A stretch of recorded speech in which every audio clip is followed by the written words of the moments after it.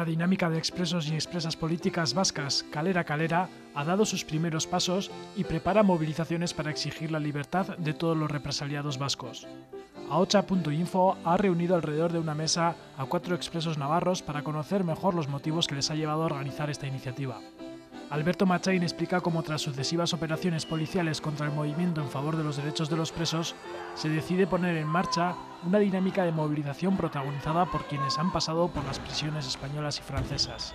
El Estado español, eh, mediante la represión, bueno, pues, eh, digamos que puso patas arriba de la línea de presos, la lucha eh, por la liberación de los presos, la lucha por, contra la dispersión, y entonces bueno, pues, la izquierda Bertzale no consiguió articular una lucha eh, potente eh, bueno, pues, eh, por la liberación de los presos, a favor de los presos y bueno, pues, en un momento dado la izquierda le plantea un debate para su refundación y bueno, pues eh, la, dinámica de expresos nace eh, para, mientras la izquierda Bertzale desarrolla ese proceso de refundación, esos debates, eh, bueno, pues tanto habían como el, Congreso de Sortu, el de Arnay, etcétera, y también el, debate del colectivo, bueno, pues nace para darle un apoyo político al colectivo, pues para que el colectivo se sienta arropado.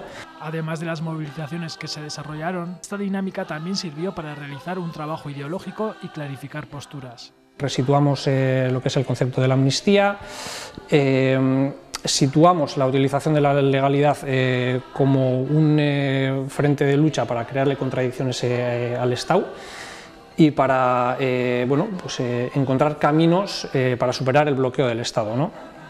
Ahora, la dinámica Calera Calera se propone enviar un mensaje de apoyo al colectivo de presos y presas políticas y ser su altavoz tras el anuncio de la apertura de un nuevo debate en su seno. Nuevamente un apoyo al colectivo, eh, expresarles que estamos al lado, que queremos que, que, su lucha dentro sea la misma que la nuestra afuera, que los objetivos han sido siempre los mismos, que la independencia, la independencia del socialismo eh, también la podemos pelear desde aquí fuera y traerlos y sacarlos a la calle, pues es eh, nuestro objetivo todo ese apoyo de la sociedad también de cara a que, a que pues eso, se concluyan ¿no? y, puedan desarrollar el debate que, que, están dando, pues lo pueden desarrollar en condiciones ¿no? y que vean también pues, esa luz al final del túnel y que, y se, y que se, genere esa, esa fuerza. ¿no? Todos coinciden en que es la sociedad vasca la que tiene que ser la protagonista y el motor de la lucha que saque a los y a las pesas a la calle.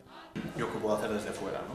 Estoy en mi pueblo, estoy en mi barrio y yo tengo la sensación de que hace mucho tiempo perdimos, o sea, perdimos la ocasión de ser protagonistas. De alguna manera, joder, eh, el contexto cambió, yo creo ¿no? que, que, fuimos avanzando, que la temática de presos, presas e exiliadas se puso en el, en el, medio del tablero político, pero es verdad pues, que por los diferentes ataques, diferentes cuestiones, aquello en los últimos años yo creo que en general ¿no? pues quizá ha dejado de coger la, la centralidad que, que tenía. ¿no?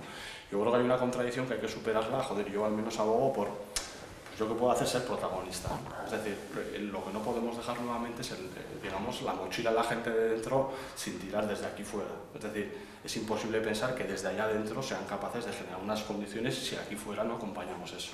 Yo creo que nuestro papel es ese, nuestro papel es generar esas condiciones socialmente, o sea, haber un buen debate, situar bien el debate político, ¿para qué? Para que evidentemente el colectivo de presos y presas puedan aportar a esta sociedad y que lo que aporten sea entendido. Priorizar el qué y no tanto el quién, es decir, ¿qué me une a mí a los demás? La dinámica, vamos a hacer cosas.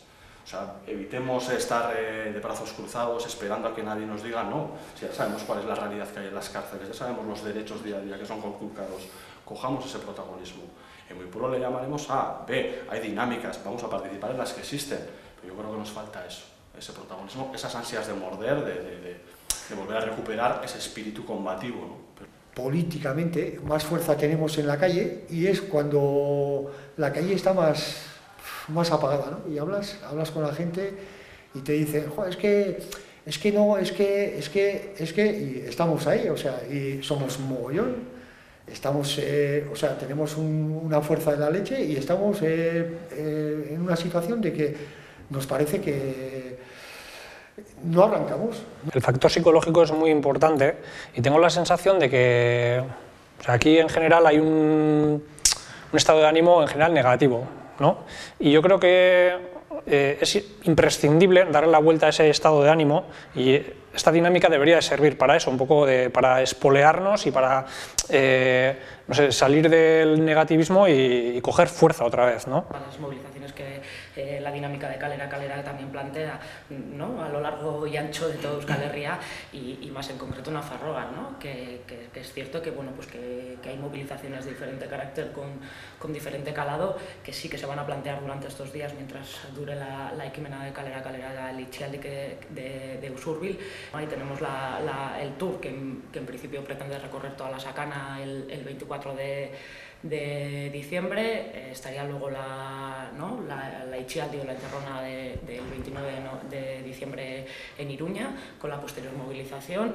Está también el, y el tema que, bueno, pues un, un poquito para darle ya el cierre a toda la, la de Usurbil, que se plantea una cadena humana a nivel nacional ¿no? en, en Donosti. John Garay advierte que sería un error dejar la cuestión de la resolución del conflicto en manos de los partidos políticos y de las instituciones y subraya que hay que aprovechar el cambio político que se ha producido en Nafarroa para poner la cuestión de los presos en la agenda política. Es un error porque hemos visto durante las últimas décadas de que los partidos pues, no hemos estado a la altura de, llegar a acuerdos de país para solucionar esta temática. Yo no le voy a quitar importancia al papel de las instituciones, de los partidos y demás, pero creo que llega un momento de reivindicarnos como sociedad. La sociedad navarra ha demostrado ha demostrado que en esa suma de fuerzas ha sido capaz de generar las condiciones del cambio y vamos 20, 30, 40 años buscando esta situación. Yo creo que una de las claves es esa, es decir, aquí hay un conflicto entre intereses, los intereses de los partidos y los intereses de la sociedad. Y los intereses de la sociedad son mucho más sencillos que los de los partidos, la gente quiere soluciones. Y yo creo que tenemos que saber un poco a la gente también aportar, ¿no? que, que la búsqueda de, de acuerdos con diferentes sea algo tan sencillo del sentido común, qué es lo que aporta a, a adelantar, a avanzar. ¿no? Yo creo que hay una segunda clave y es, vuelvo a decir, no centrarnos tanto en quién tiene que hacer las cuestiones, sino en qué, cuál es el reto que tenemos que hacer en Nafarroa para que también la, la temática de presos y presos y presas esté en el candelero político. En la calle hay, pero mucha, mucha gente que, que igual no está estructurada en ningún partido, pero que, que el tema de los presos lo siente porque le viene de los tiempos del franquismo, de haber tenido familiares presos, y, y, lo sigue sintiendo, lo vive y, y, esa gente también hay que, hay que encauzarla, hay que darle para que pueda participar, hay que, hay que reactivarla. O sea, Yo creo que eh, hay que tam también recuperar el espíritu del contacto gurekin, ¿no? O sea, a mí fue una eh, campaña que, bueno, eh, no, no, la viví aquí, pero eh, yo creo que eh, se acertó muy bien con el lema, ¿no? Contacto gurekin, o sea, vamos a participar, estamos con vosotros, ¿no? vosotros y vosotras. Y, yo creo que hay que extender ese estado de ánimo y ese, ese, esa actitud, ¿no? Contatu gurekin, vamos a la calle.